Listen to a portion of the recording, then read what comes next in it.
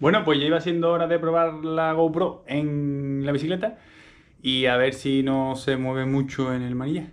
Hoy está puesta a 4K y a 60 FPS. A ver qué tal se ve.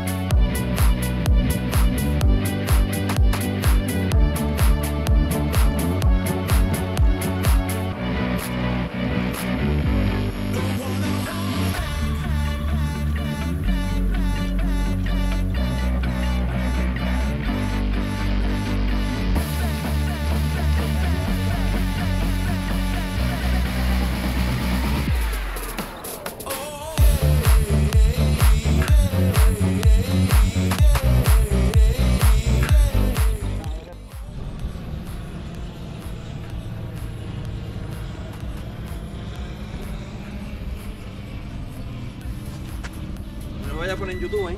¿Por No me graben, a mí no me graben.